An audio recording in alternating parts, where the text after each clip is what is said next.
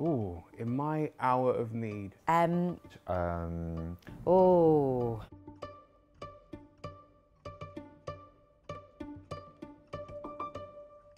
I'd like a kind of variety, I think. Um, I wouldn't mind a bit of Bette Davis, um, just for a bit of sass. I think if you're feeling low and um, uh, in need of a bit of spine, um, she could give you a kick up the ass. There's a Scottish poet called Norman MacCaig, and I actually saw him when I was in primary school read some of his poems, and he was a lovely, gentle, um, old Scottish man with the most ridiculous twinkle in his eye. There was a kind of surrealness to what he did, but for somehow, when you were a kid, it made total sense. So I feel like he could say anything to me in my hour of need, and I'd get something from it. Um, if he could spare the time, Nick Cave. He's not really dead, but let's call him historical.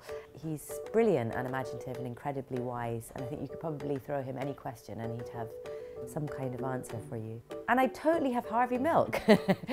and, and that's dead serious, not just because um, I'm doing him in this play, but the more I've researched him, he's just an incredible person with a huge heart, amazing drive, brilliant sense of humour, total capacity for um, hope and belief. He was a visionary and, and has a really positive attitude to how we could be as a nation and as a society.